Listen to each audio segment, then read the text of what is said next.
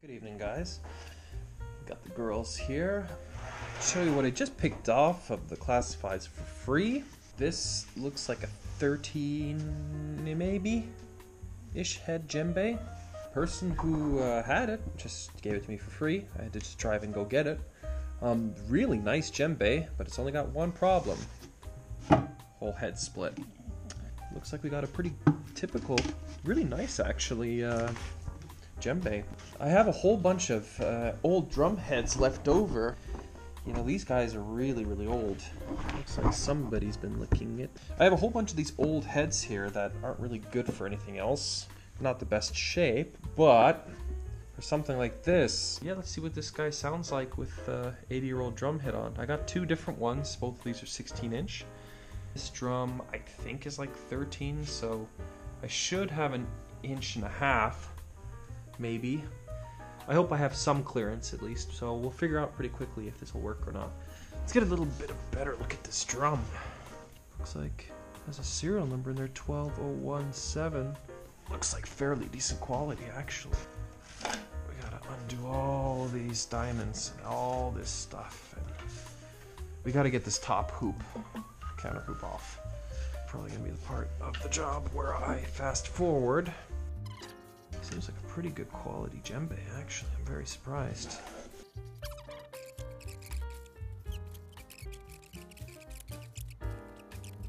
And I like that this first row of diamonds is super down low. It makes things a lot easier to... Okay, dog bowl, you need to go away. We have the knot.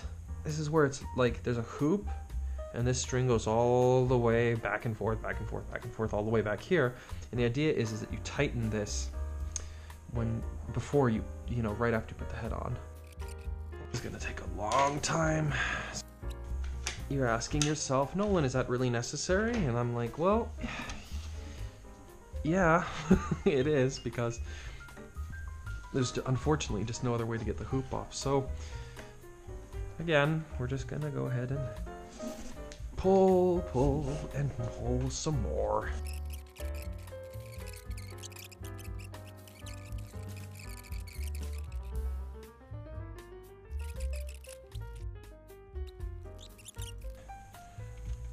Oh, yay. That is the drum head. Yes, this is the counter hoop.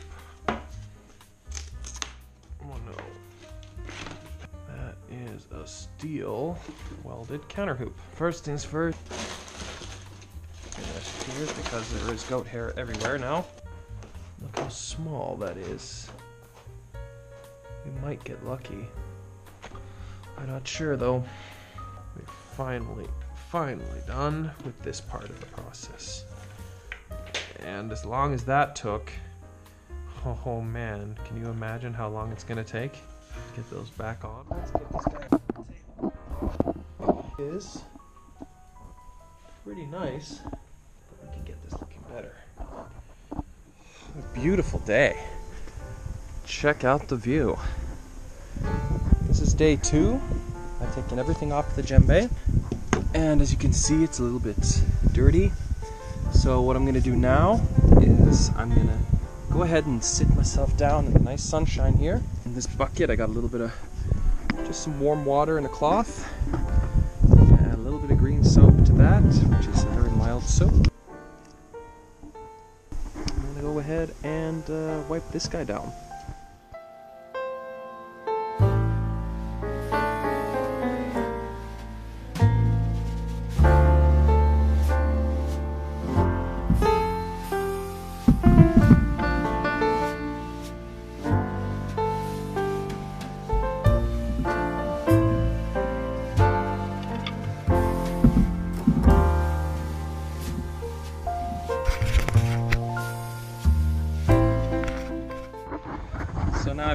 This guy here.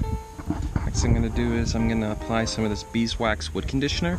It's not pure beeswax. It's got a couple of other chemicals in it to kind of like uh, preserve and to soften up the beeswax and whatever. But I'm gonna go ahead and uh, apply this to the entire surface of the djembe just to make sure that we're all set. And um, That'll probably only take about 20 minutes to soak in and then we'll be ready to put the head back on. I might do a different product for the bearing edge, but we'll get to that later.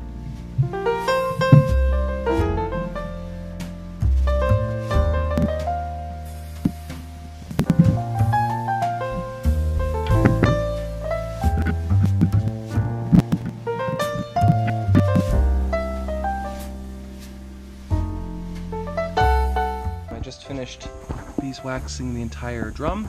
It's got to sit for a little while now. I've done the inside as well. Look at that shine. But anyway, done the inside and out. This has got to sit for maybe like 20 minutes or so.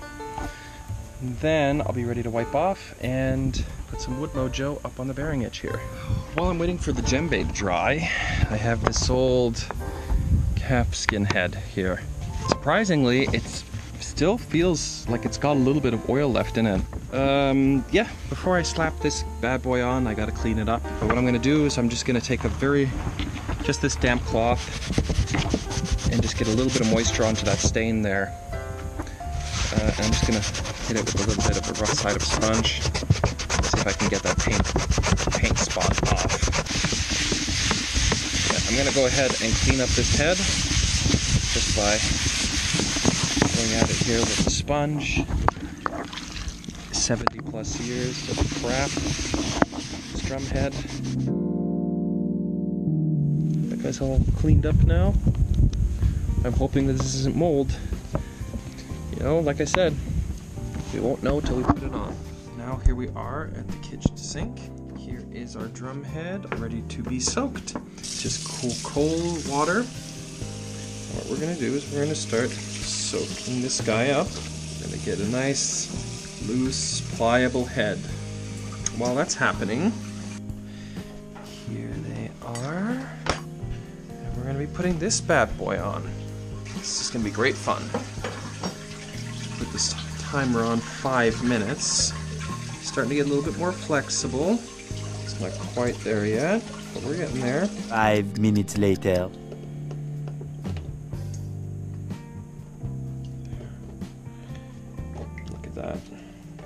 Just like that.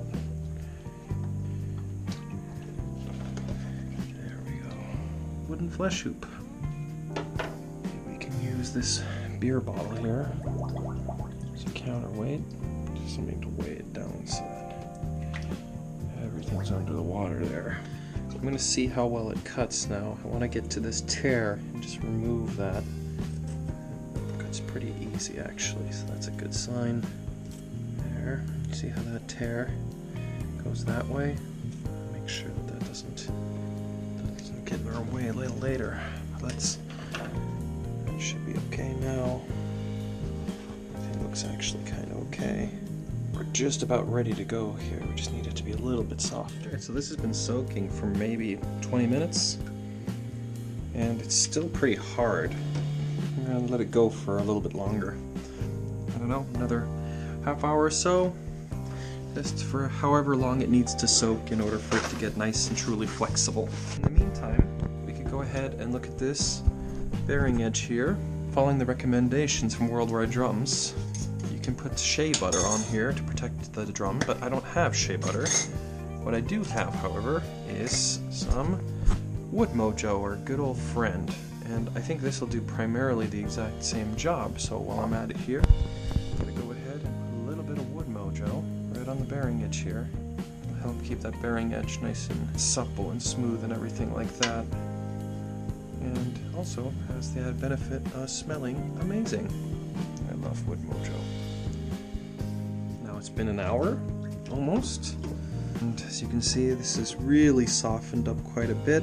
The parts that were tucked under the flesh are still quite hard, but they're no near as bad as they were. And it's not that big of a deal that those are quite hard because we're not going to use them anyway. Now that the skin is ready to go, it's wet, it's not super soaked or anything like that, but I'm just going to give it a quick toweling off.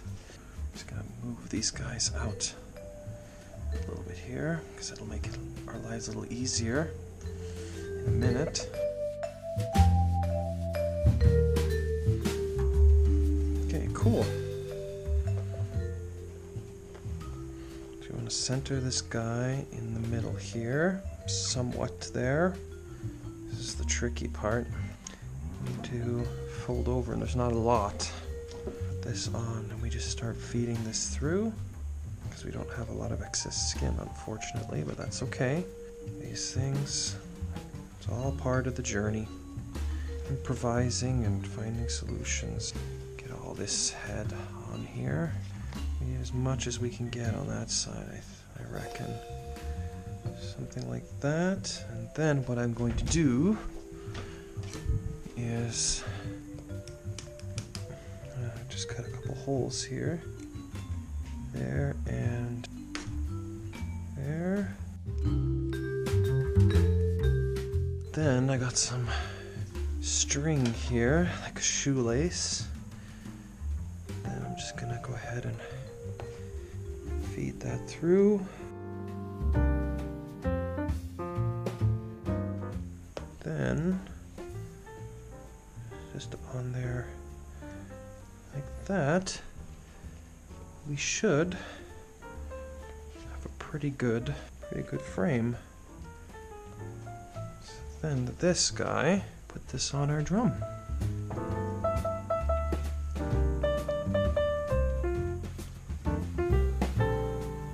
Okay. Okay, so now that I've got all this taken care of, I will be starting to tie my first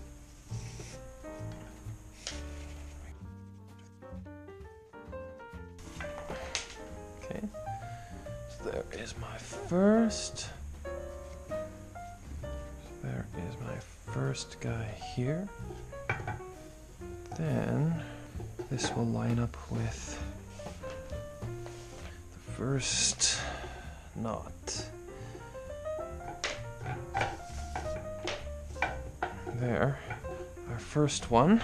Then I'm going to take another shoelace here, and on the opposite side of the drum, just hold up this guy here. There, just a simple knot. Our lives so much better.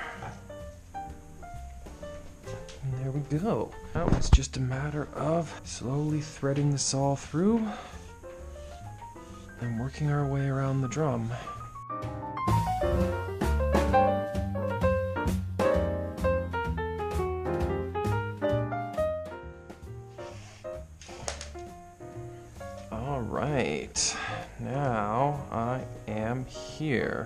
Now, the fun starts.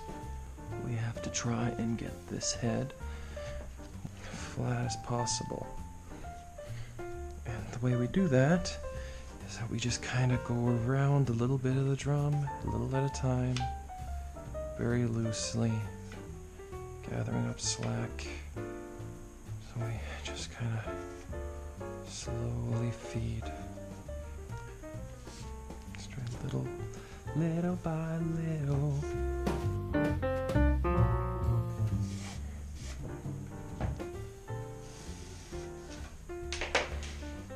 We're starting to get close. Just make sure that all of these guys are down. Let's just do another little tightening.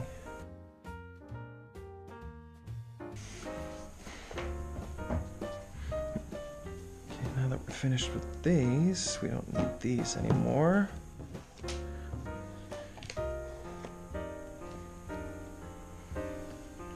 Lightly pull where we can. Alright, so now we're just gonna work our way slowly around the edge of the drum and try to work out the creases and stuff.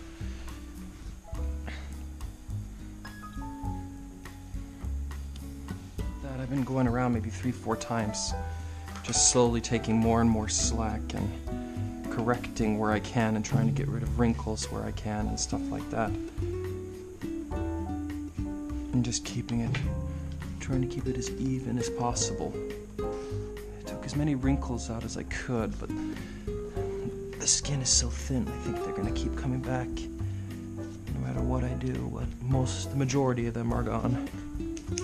A pair of scissors and we place to cut.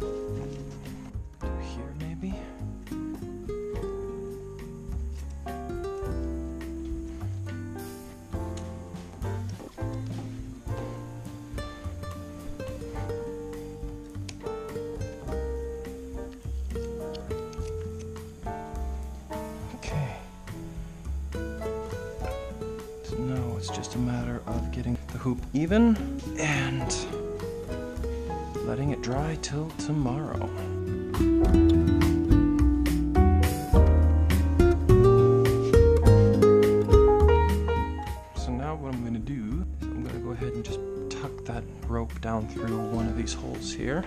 One here, for example, will work. I'm just to thread that through there just so it's a little bit more secure. I'm just to wind this around the drum a couple times. And then let's go up here somewhere and knot it off.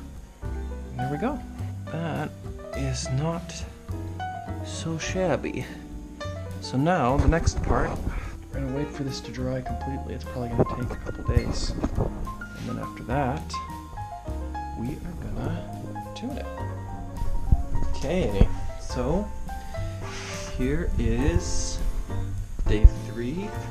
I let the djembe head relax for an entire day. And you can really hear how pitch has really dropped significantly. So I think today's the day we start doing some um a little bit more tuning. These are quite tight, but I want to just do one more time just to get this really nice and uh, tightened down. It looks actually really nice. The rim is it's not like perfect, but it is really, really close. And um, I think that's all I can ask for. So what I'm gonna do is I'm gonna go ahead and go outside. It's another really nice day outside. I'm gonna start really bearing down, I think, on the stick. And as soon as that's done and everything's looking good, then we're gonna start the Mali weave.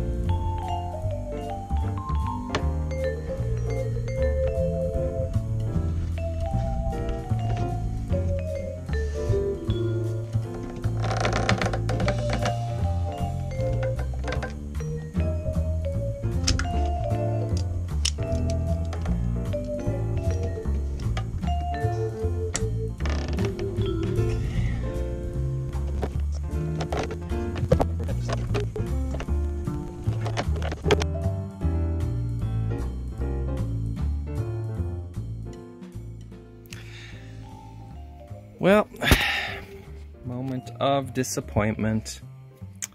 The old skin, try as hard as I might. The last, right before, the very last tightening. Slipped under the flesh hoop. See that? It's just a tad too thin here.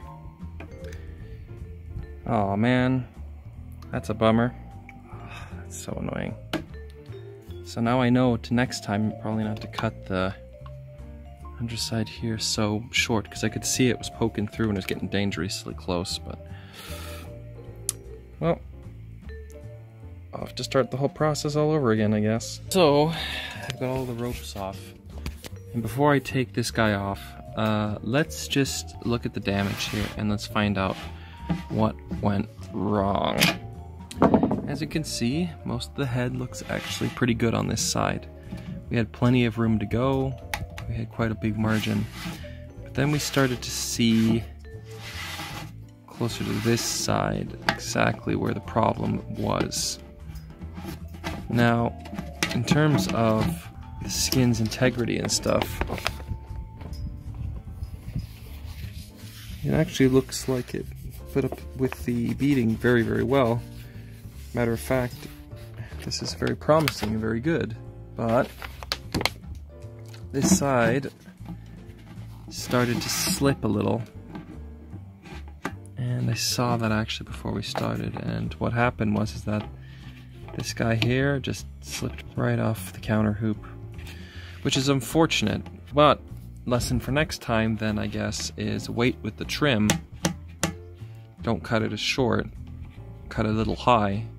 On the other hand, if I can get all next head like this, because this part's like rock hard, this was really held in place quite well. If I can get the next head on, which does have a lot more skin on it, not trim it, maybe do the folding technique in the next one, then I think we'll be in a lot better shape. It's a shame, it was a really good head too.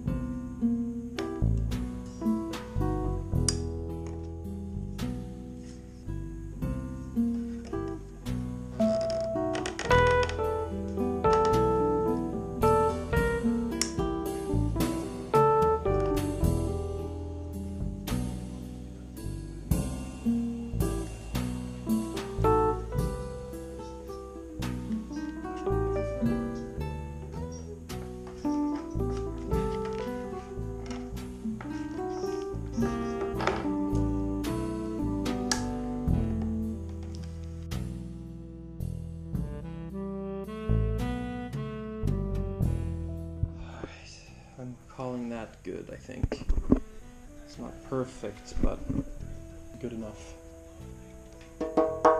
Cool. Right. Let's get this bad boy outside. So this is the next day. Everything's looking good and tight. So what we're gonna do now is we're gonna do Mali weave. Then I think this guy will be ready to go. Okay, so the very first thing we gotta do, we gotta knot this guy off. Once we have a knot there, then we can start doing the Mali weave. So this is where I left off yesterday. And I just brought the excess rope down, wrapped it around, and then I knotted it off here. I just held it in place with two of the really tight verticals. I'm gonna go ahead and just clamp off this entire part right here and then I'm going to tie the knot. So this way there's no risk of of anything getting loose here. It's all being held in place see? We're going to undo undo this little knot here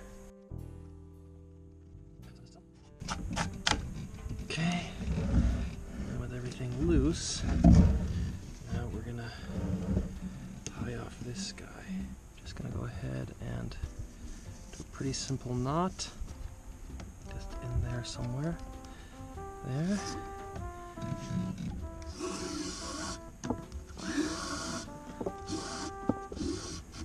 So just gonna go like that.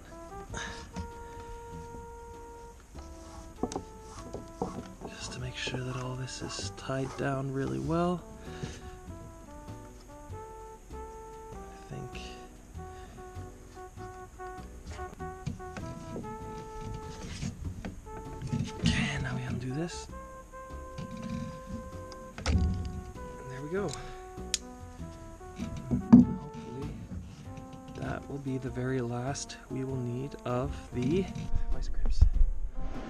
Now onto the Mali weave itself.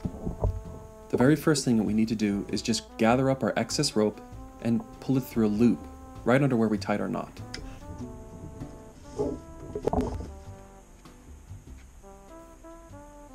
Next thing we need to do is find a set of verticals to create our first weave.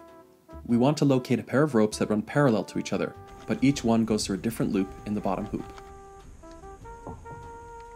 We bring the loose end of the rope up and go under each of these two verticals. Pull the rope tight and low.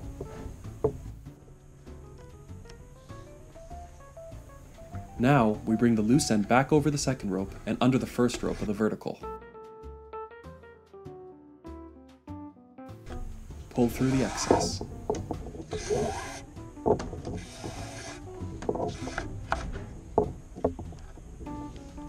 Now pull it tight to form the first weave.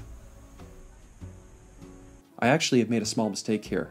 I should have also gone under this rope too. This is because technically this is part of the first rope of our vertical pair, since we doubled back with the excess rope when we tied our knot earlier. But that's okay, we end up fixing it later.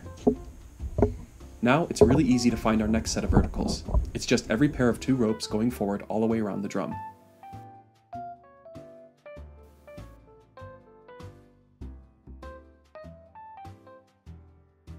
Just keep repeating the same process. We just keep going under two, back over one, under again, and pull. What this does is forces the ropes to cross each other, which in turn pulls on the head and tightens it. In this way, we can just keep going until you go all the way around the whole drum.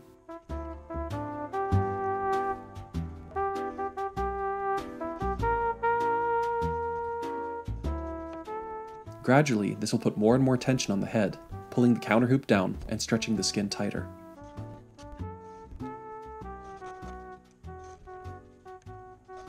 This is how African drums have been tuned for a long, long time. Pretty ingenious. This is the last pair. Here. Then we're gonna lock off the drum. So what we're gonna do, I'm gonna come up behind here.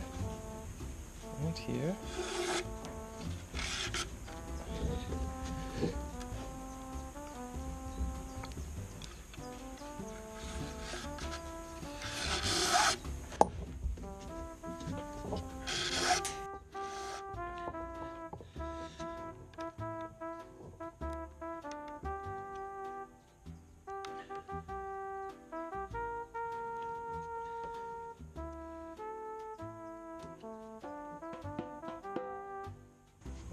Now we've got a last knot, and then what we're going to do is we're just going to put the rest of the rope under there so that the, the rope stays in place and the knots don't undo themselves. Because we're just going to keep it here for now. I don't want to tighten it anymore until another two weeks or so. So we're just going to do this, just like we would tying another knot. But instead of tying a new knot, what we're to do is we're just to feed the rope down here now, through there. And bring it down here. See? And then just wind it around the drum. Just pick anyone you want to look stylish. You put it in here.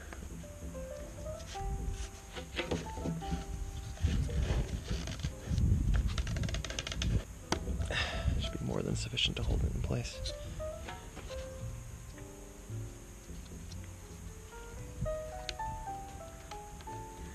It's just a nice little way to just keep it out of the way for now.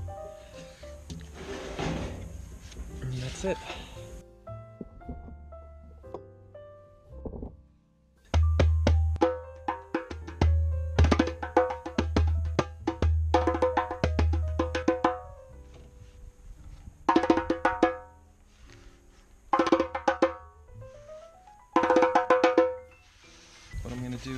This guy sit for a couple weeks before I tune up anymore. In the meantime, I'm gonna put this little cover on him. And we're all set. Good morning, Indigo. Good morning. Hey, I'm gonna let you sleep. Well, we're back, and it has been four weeks, I guess, since we last did the tuning on this guy. And uh, since then, I've just let it chill, and I've played it a couple times. And uh, yeah, we're just about ready to tune this guy up. Let's set up some microphones and um, let's go through some tuning ranges with this guy.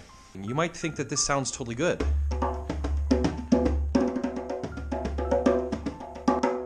However, actually, in terms of djembe standards, this is quite loose. You might be kind of surprised to know if you're not really into hand drumming, you just have a djembe as is right now, that typically djembes are tuned quite a bit higher than this. So what we're gonna do is set up some mics, and we're gonna listen to this guy, and I'm gonna go through weave for weave for weave, knot for knot, going up maybe one more time around the drum. I just want to do that for you guys so you can you can hear the difference in tone and how it changes the character of the drum completely. Now, the important thing to remember with this guy here is that we want to make sure that we do not overstretch this drum head. There's a good expression whenever you think like one more knot that's usually right where you should stop because this is going to get like tabletop hard. It's going to get really, really high tuned. You also run the risk of ripping the head. So, with this skin being as old as it is, I'm probably going to be a little bit more cautious than I normally would be with like a thick goat skin.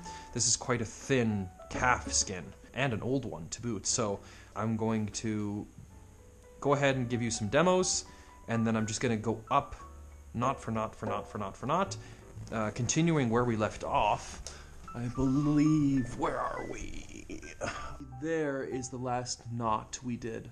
And you can see now, like, do you remember how how hard we had to like pull these guys tight, and just how loose they are now? Like, look how loose they are. Like the skin is really stretched out. So I am thinking that here is the very last knot that we tied, and we're gonna go ahead and we're gonna go up, and we're gonna do the exact same thing that we did, but instead of these two, or I should say these two verticals, we're now going to be tying these two these two verticals. If you can see that here, we're going to be making new verticals, and uh, you always want to go like the outside ones, so like this one and that one. It'll be, and or sorry, it'll be these two, and we're going to be making more Mali weaves and diamonds and doing all that jazz. So anyway.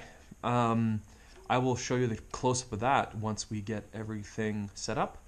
And yeah, let's go ahead and get started.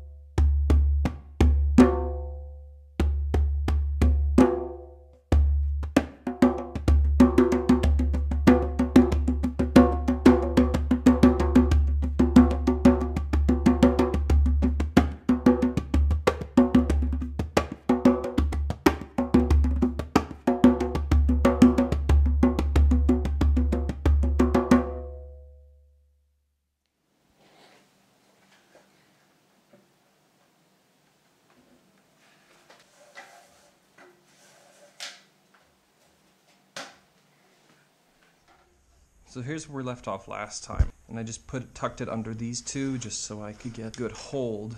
And now we're going to try and find these two here. And we just continue the cycle. So we go like this under all three, that's a good place to start. So here's these two. I think that's correct. And then tie a knot. Maybe I can show that one more time. What I've done is I brought the rope.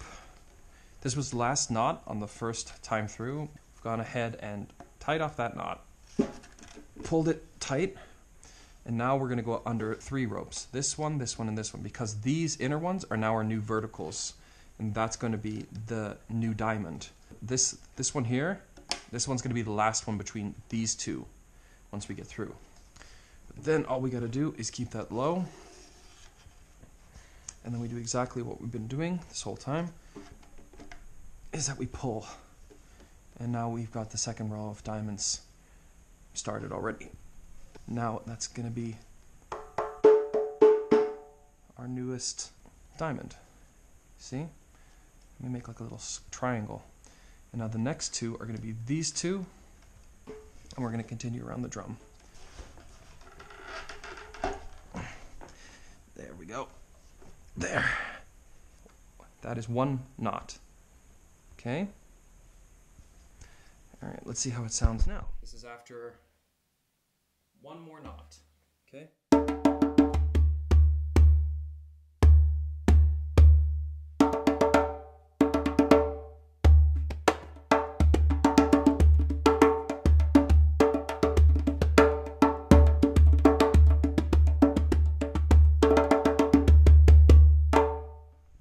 And so we continue. All it is is just same thing as before. under two over one. And then what I'm gonna do is I'm gonna hold it under the next two. Okay. It's gonna be these two next, then these two, then these two, then these two, then those two here. We're just gonna keep going. Two.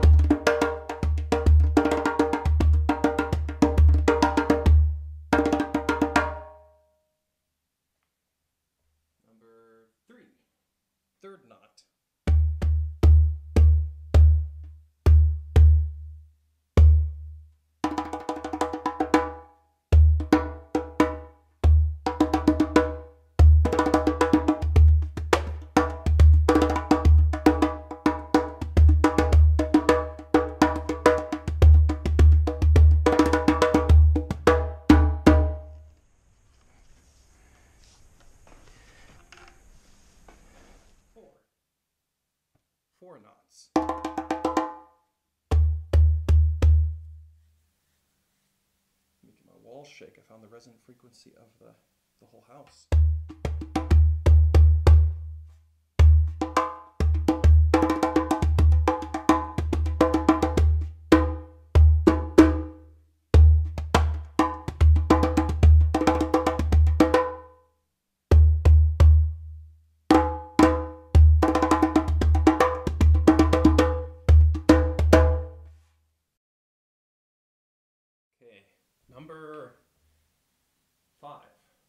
Is at five knots. Really, I don't know if you guys can hear that, but the, the walls are shaking.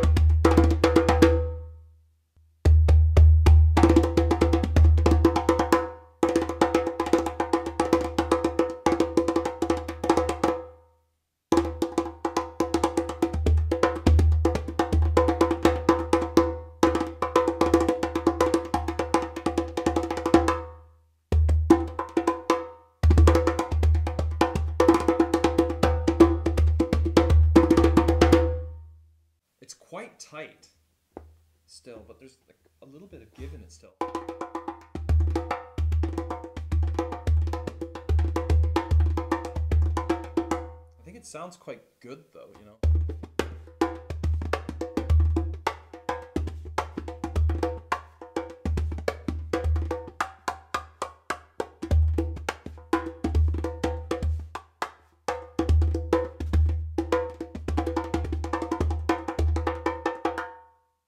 Hmm. Know. I think what we're gonna do then, I think is I'm gonna resist the urge to go even higher, and I think I'm just gonna keep it here. I'm a little worried about the skin, um, and I'm also worried about the summer. It's the fall now, so it's gonna get tighter and tighter as the summer approaches, um, and we get back into warm weather. And I'm gonna bring this guy out. I think what I can do is I will keep it at this tightness right now. But I think I'm more than happy with this tightness. I think this will work just fine. I was hoping that maybe I could go a little bit higher, but seeing as this is such an old skin, I actually don't know if that's a good idea. So what I'm gonna do is I'm just going to leave this as is. Very last thing I need to do then, before we call this good, is just get rid of this excess rope. And all I'm gonna do is quite simple. I'm just gonna go ahead and bring this down and put it somewhere through here maybe. Obviously this is just more of a personal preference thing now. Maybe I can squeeze it through there, but it doesn't matter because I can just put it through here. And then wrap this string around the djembe. Make sure it's tight. If you have enough, you can probably make a handle, but having such a short amount of rope left over, we're just gonna have to be okay with wrapping it around the drum a few times. Just bring it right up through here again. Okay. Something like that. Find a little place we can just tuck this in. Just make sure it's out of the way. There. And then maybe one more. Just like that. And then maybe just back on itself. Just something to keep it out of the way. As the summer comes closer, maybe we'll tighten a little bit more, but for now, I think I'm more than happy with that. And there we go. Something like that. So we ended up going with eight diamonds. One, two, three, four, five, six, seven, eight. I think it sounds pretty good. Let's just take some final pictures and we'll call that project well done. So there we go. Reskinning a djembe and tuning it the way that I do, at least.